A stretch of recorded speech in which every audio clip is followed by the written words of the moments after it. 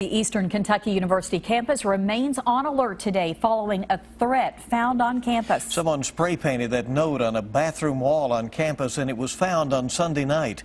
WKYT Sean Moody is live on the EKU campus now with our top story at 1230 updating us. Hey there Bill and Barb. This is Model Laboratory School. It's on EKU's campus. It would normally be open today but because of that threat they've decided to go ahead and close the rest of the week. They already had the day off on Friday. There are also some other changes happening here on campus. EKU spokespeople say there are increased police patrols after the threat they found scribbled on a bathroom wall Sunday night.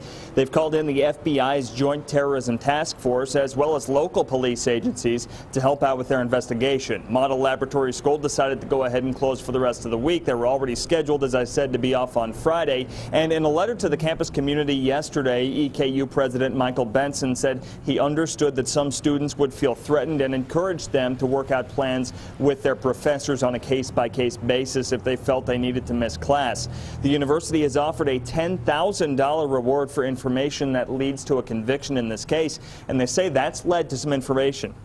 We think because of that reward being offered, it sends a message that we're not going to tolerate this kind of threat or anyone trying to harm people on our campuses. So we have been getting a number of calls, some information. Police are following up on every one of those, trying to determine if there is a connection and if we can identify who's responsible for this.